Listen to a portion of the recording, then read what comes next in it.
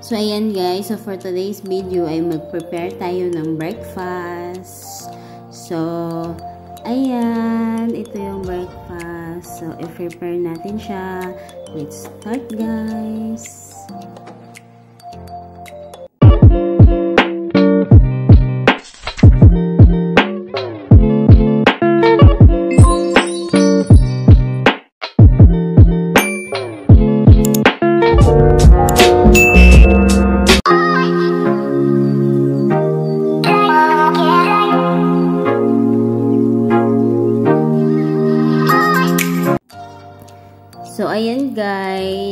First things first, kay mag panita o patatas.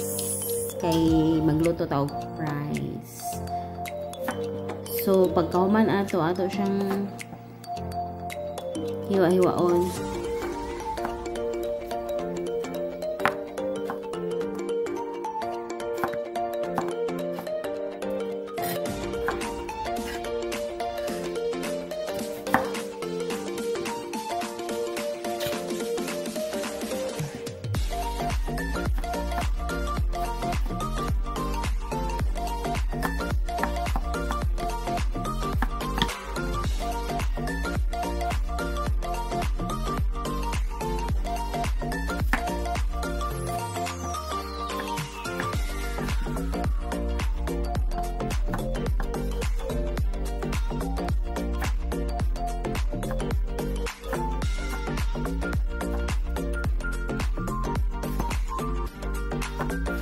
So, ayan guys, malapit na tayo matapos maghiwa ng ating mga patatas para sa ating fries. Sunod natin gawin is, isit aside natin siya, ilagay sa tubig, tapos, lagyan natin ng asin para yung laman niya sa yung sa loob-looban niya is may lasa. Kasi minsan pag hindi natin nilalagyan ng asin, wala talagang lasa yung sa loob-looban niya. Kaya ilagay natin sa asin. Tapos magprito tayo ng itlog. Is-sign inside up natin siya. Ayan.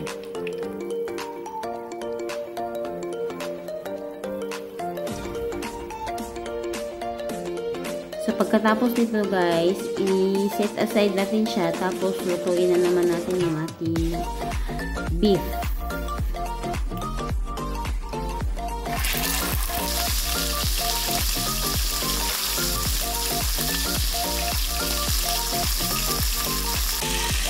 Ayan guys, oh, i-clip lang natin siya. Para, ayan na yung price natin guys. Dito pala siya nabigyan ko niya.